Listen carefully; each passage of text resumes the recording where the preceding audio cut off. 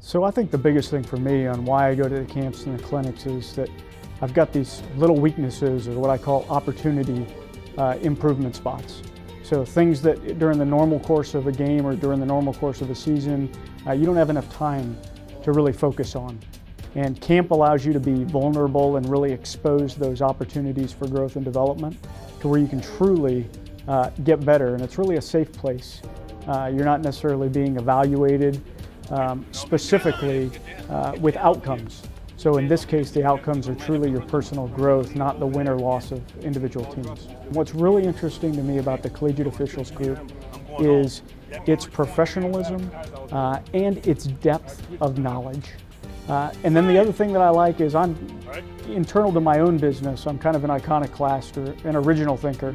And what I love is the ability for the collegiate officials group to really challenge convention and look for new ways uh, against the mold that really sets us apart and make sure that we get the calls right.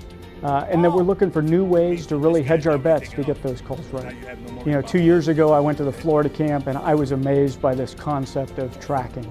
I'd always been, you know, use your eyes to watch the ball, but really to hone in on this idea of tracking and setting a point in front of the plate, relaxing the eyes, and, and the ability to get that low outside pitch uh, which in college baseball, as you know, is really the money shot.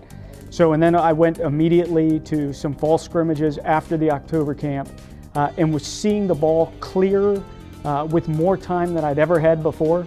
Uh, and for the first time in my college career, I realized that I didn't have to strain or struggle.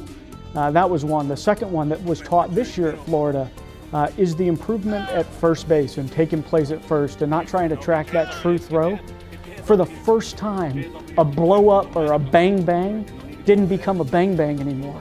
I felt like I had seconds to make a call, and a bang bang play is literally where two things collapsed at the same time, not the that used to happen for us.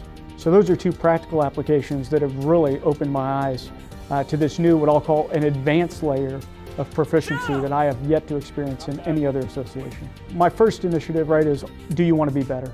Uh, I think Warren Buffett said it best one time. He said, you can make no better investment than investment in yourself.